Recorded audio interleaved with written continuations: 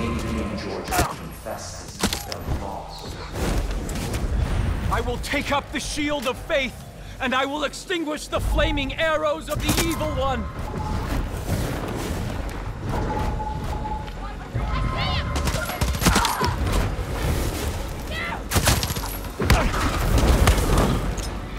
Need to move!